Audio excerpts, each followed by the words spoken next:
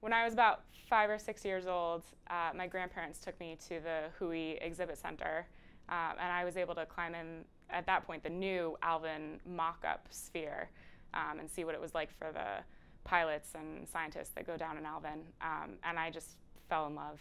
And then in school, good at math and science, and so engineer, engineering was sort of a, a natural fit for me.